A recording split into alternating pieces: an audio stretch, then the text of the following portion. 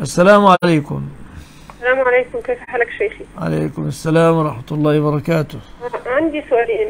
آه الأول بسيط يعني ما حكم تبرع الابن لوالدته بإحدى كليتيه؟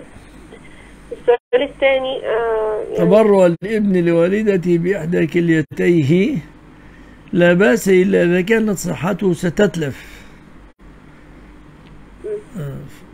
السؤال الثاني آه لي قريبة آه آه كانت قريبة لي جدا ربنا مع بعض كان كان في يعني كانت أمي تخدمهم بشكل مستمر ودائم.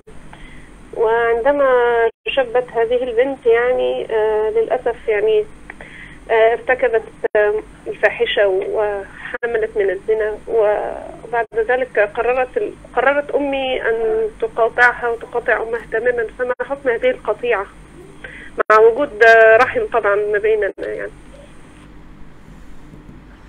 إن قطعتم البنت هجرانا في الله ما دام وما زالت مصرة على كبيرتها. لا لا للأسف إحنا قاطعناها خوفا على السمعة وخوفا على على زيجات البنات الأخريات من العائلة. يعني.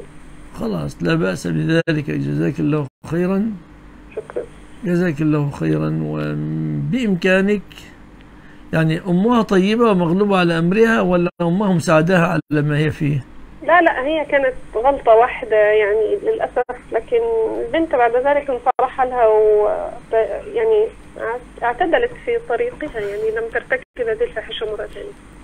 الله يخ- يعني أظن أن الوصل والنصح أولى والله أعلم.